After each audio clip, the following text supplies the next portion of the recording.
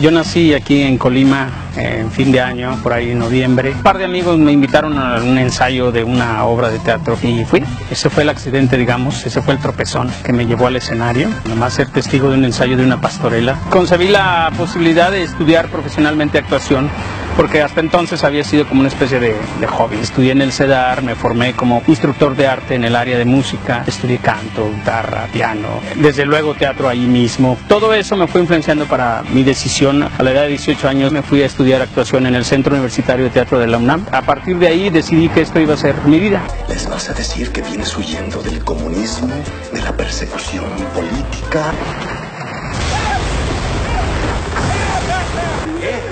Pasa? ¿Tú estás loco o qué? ¡Habla español! ¿Eh? ¿Dice usted que viene huyendo? Vengo huyendo del, del capitalismo.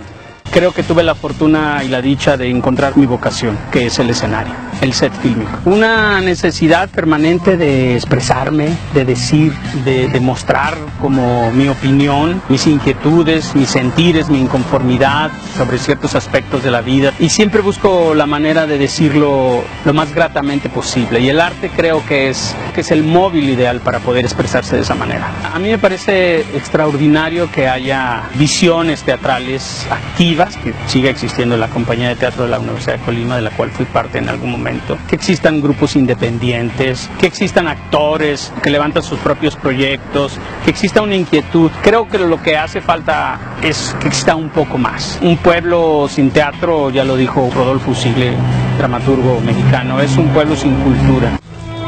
Papá, no te vayas. Chaparrita, tengo que hacerlo para que vivan bien. El teatro necesariamente es una forma, es un tipo de voz que nos es común a mucha gente y creo que es necesario que esa voz esté más presente y que esa voz tenga distintas tonalidades.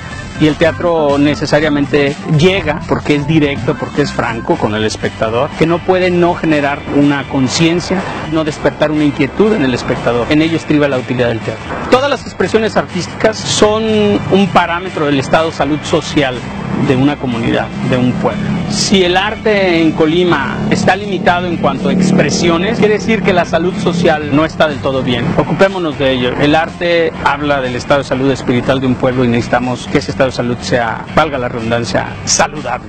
Por favor, a trabajar. Artistas, actores, todos en general.